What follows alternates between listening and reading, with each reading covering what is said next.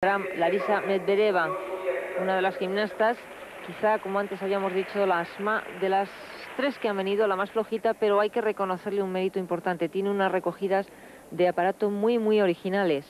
Sí, destaca la originalidad en la recepción, que es un factor que se puede bonificar.